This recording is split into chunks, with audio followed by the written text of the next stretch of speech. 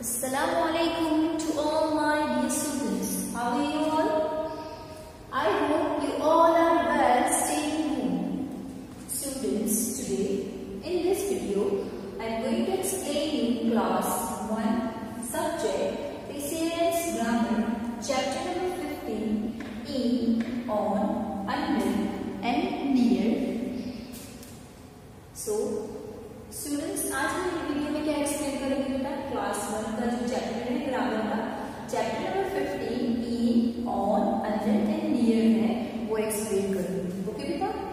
So now open your grammar textbook, chapter number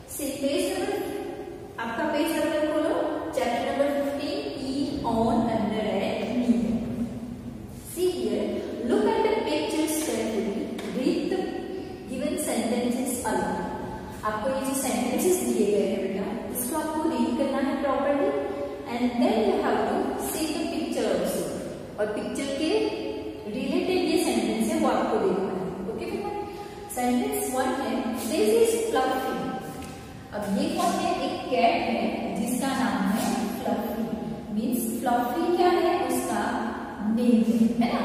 cat का नाम क्या है?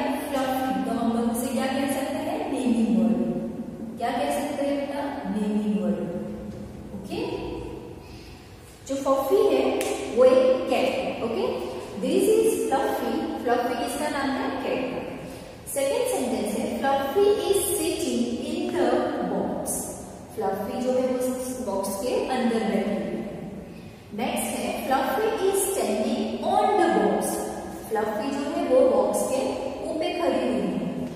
नेक्स्ट है fluffy is hiding under the box वो बॉक्स के अंदर में छुपी हुई है। नेक्स्ट सेंटेंस है फ्लफी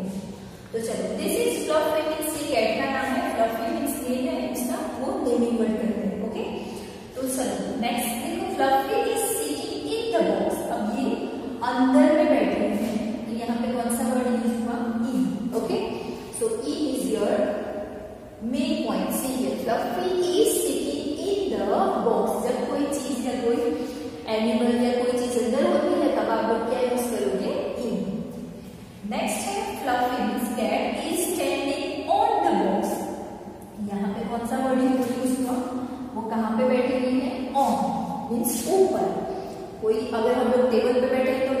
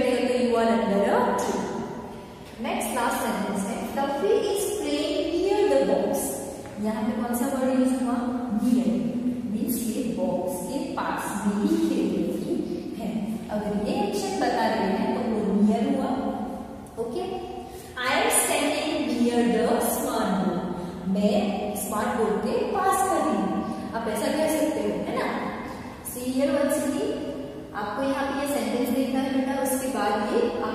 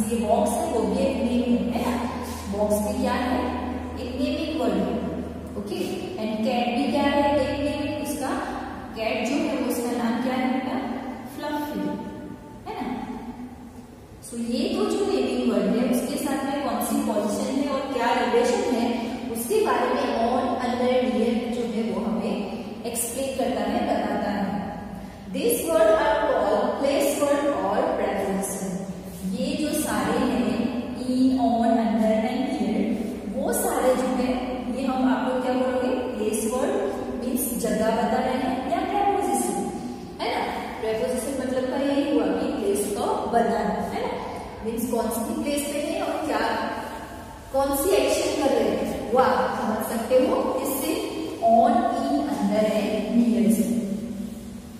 सो so, आपको आई होप आपको एक पिक्चर के साथ समझ में आ गया होगा। ये कैट है उसका नाम फ्लफी है। उसे आप लोग क्या कहोगे? Living word see here fluffy is sitting in the box वो बॉक्स के अंदर बैठी हुई है। नेक्स्ट है fluffy is standing on the box अब वो खड़ी हुई है बॉक्स के ऊपर।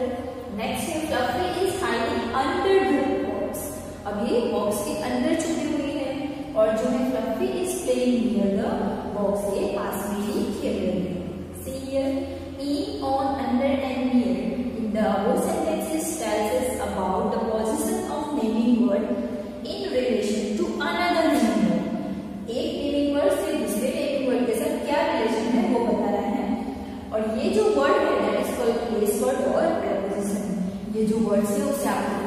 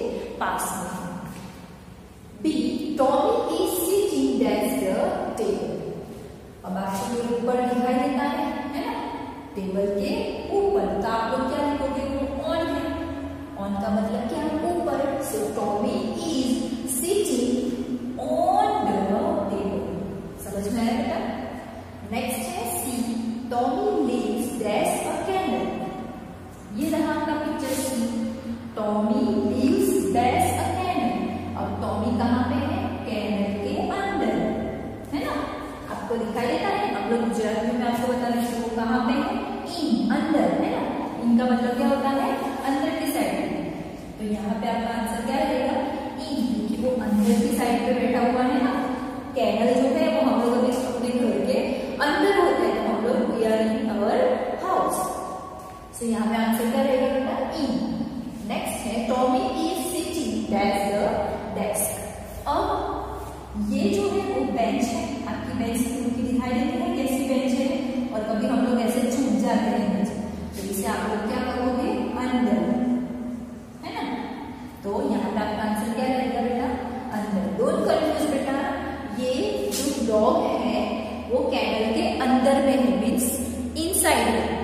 dejan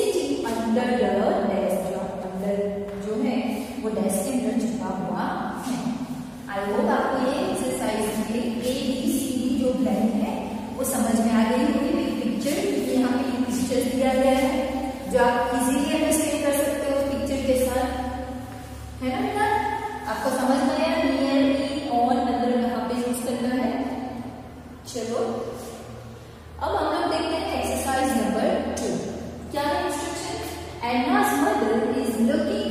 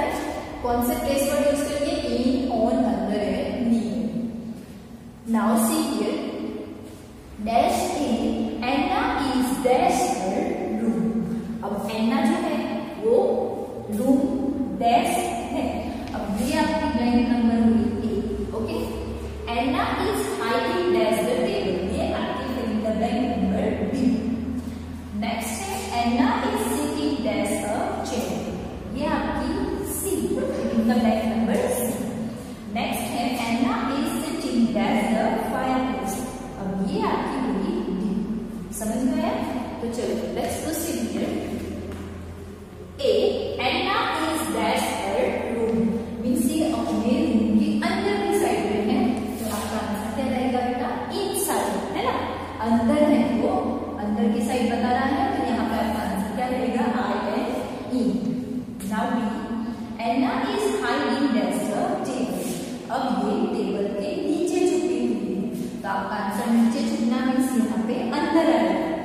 लोग कभी कोई चीज़